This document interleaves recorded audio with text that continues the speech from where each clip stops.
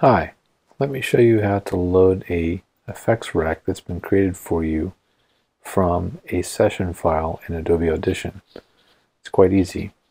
So once you receive a session file, all you have to do is simply open the session file in Adobe Audition and in the session file there'll be one or more tracks with racks preloaded in them. When you click on the effects button here you will see the rack that's loaded on that track.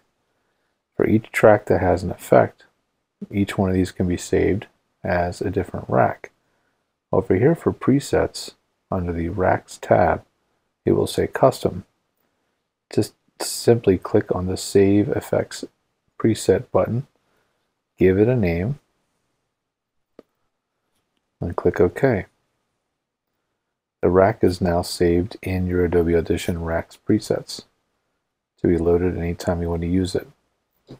If you want that rack name to float to the top of the list to make it easier to find, just put a dot in front of the name, and now that rack will show up at the very, very top of the list for easy finding.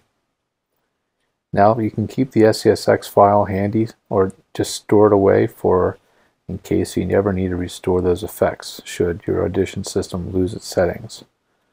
But that's it. You won't need the SESX file again. You only need it that one time to load in the racks.